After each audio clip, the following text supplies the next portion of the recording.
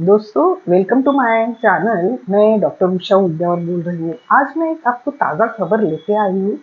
वो है यूके के ब्लड कंटेमिनेटेड ब्लड देने के स्कैंडल के बारे में। अभी पिछले हफ़्ते बीबीसी ने मंडे को ये न्यूज़ रिलीज़ की है।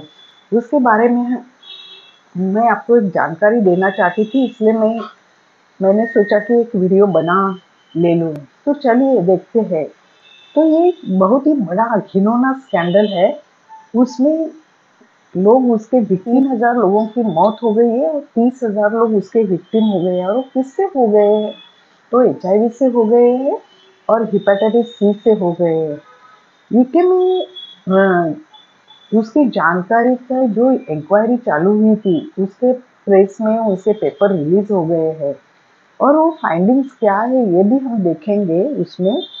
तो उन्होंने दो ग्रुप में आ, ये जो स्कैंडल हुआ है कि कंटेमिनेटेड ब्लड मीन जो दूषित ब्लड था वो सत्तर और नब्बे के दशक में ये बीस साल में यूके में दिया गया था। और वो दो जो ग्रुप्स थे वो कौन से थे? तो एक ग्रुप्स था जिनको ब्लड डिसऑर्डर था। ब्लड डिसऑर्डर माने जिनको जिनके खून में क्लॉट्स तैयार नहीं होते, वैसा एक ग्रुप था।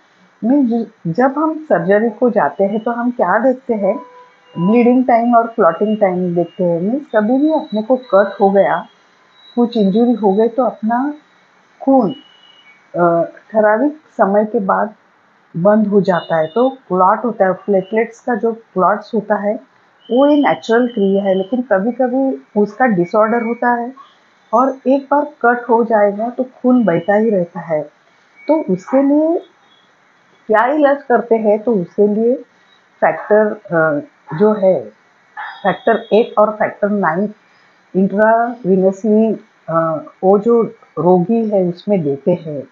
और ये जो कंटेमिनेटेड ब्लड सत्तर और नब्बे के दशक में दिया गया था तो ये ग्रुप था और दूसरा ग्रुप था जिन लोगों को ब्लड ट्रांसफ्यूजन मीन्स ब्लड की ज़रूरत थी तो अभी ऐसे कौन से लोग हैं तो उसमें ये था सर्जरी अगर कौन सा भी सर्जरी होगा तो ब्लड लगता है। दूसरा एक्सीडेंटल कुछ हो गया एक्सीडेंट किधर भी, उनके शहर में तो वो लेके आते हैं और उनको ब्लड की ज़रूरत पड़ती है। और तीसरा थैलासीमिया जो मेजर है, उसमें भी ज़रूरत पड़ती है ब्लड ट्रांसफ्यूजन की।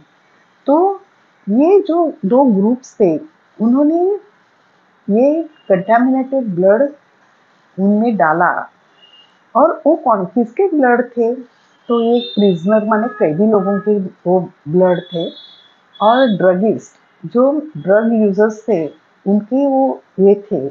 और ये जो दवा देने के पास, ये ब्लड उनके अंदर जाने के बाद, वो सत्तर और नब्बे के दशक में यूके में बहुत सारे हिपेटाइटिस सी के पेशेंट पाए गए और एचआईवी पेशेंट को भी उन्होंने पाया गया एच लेकिन आपको मालूम है एटीज़ में एचआईवी का डिटेक्ट हो गया, लेकिन उसमें पाए गए वो उनकी संख्या 80 से सौ थी। और उसमें से क्या हुआ? इसमें से ज़्यादा करके लोगों की मौत भी हो गई। और जो विक्टिम थे, जो उन्होंने उनको ये रोग हुआ था, उन्होंने अपने पार्टनर को तो वो वाइफ हो या हस्बैंड हो उनको भी दिया था। और ये इतना घिनौना स्कैंडल था तो इसका पिछले चालीस साल से वो यूके के लोग, उन्होंने वो केस डाला और वो स्कैंडल का रिज़ल्ट अभी आया है।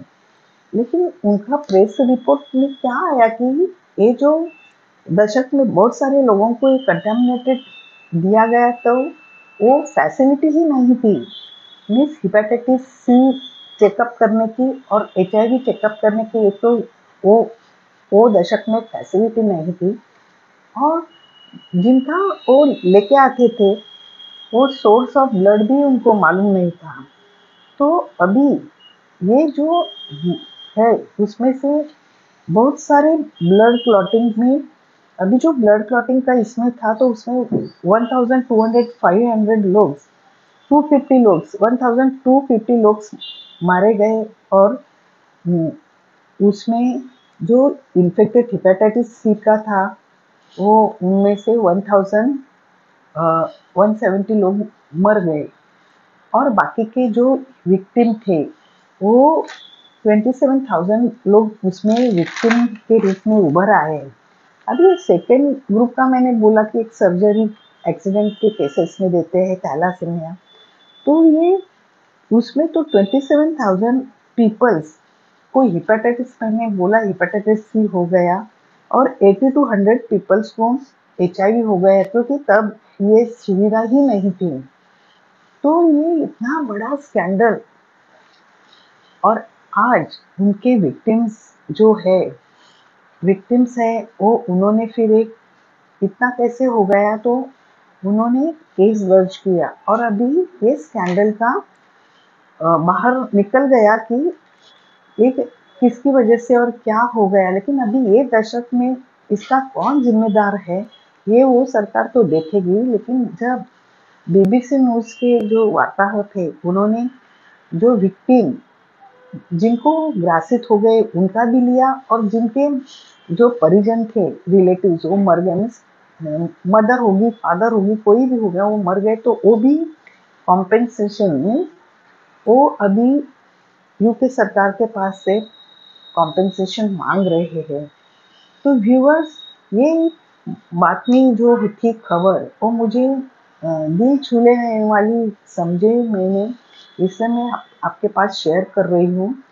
क्योंकि जब एच भी आया ना तो वो एचआईवी जिनको एचआईवी हुआ था, उनके मन में जो नॉर्मल पेशेंट थे, उनके प्रति एक आकस निर्माण हुआ था। क्योंकि तब मैंने, पिछले महीने वीडियो में बोला था कि 2004 के पहले अगर किसी को एचआईवी होता है तो वो डेथ सेंटेंस मीन्स उस पर इलाज नहीं था तो वो अगर पेशेंट को होता है तो वो मर ही जाता है। ऐसा एक धारणा ही थी और वो सही भी था, क्योंकि तब दवाई नहीं थी। तो वो लोगों के मन में साइकोलॉजिकल डिप्रेशन आता था और दुनिया के प्रति उनके मन में एक क्या बोलते हैं, बदला लेने की चाहत निर्माण होती थी और वो तभी भी जो पेशेंट थे, वो क्या करते थे, अपना कट का, कट करते थे, अपनी सुई का किसी को मारते थे, सुई, अपना जो ब्लड है वो किसी लोगों को कट करके उसमें डालते थे तो उनको ये जो आकस था ना तो तभी भी था, लेकिन ये जो स्कैंडल है वो हुआ यूके में तब वो जो तपास करने की यंत्रणा ही नहीं थी, लेकिन ये जो घिनौना प्रकार है, वो सच्ची में बहुत ही गुणास्पद है और अभी भी कोई कोई जो एच आई पेशेंट के मन में मुझे हुआ है तो इसको क्यों नहीं? ये जो भावना है ना वो पलती है। तो व्यूअर्स मुझे लगता है कि अभी एच का एआरटी तो आया है। तो ऐसे अगर मन में बुरे विचार आते होंगे किसी के तो कृपया वो टाल दीजिए।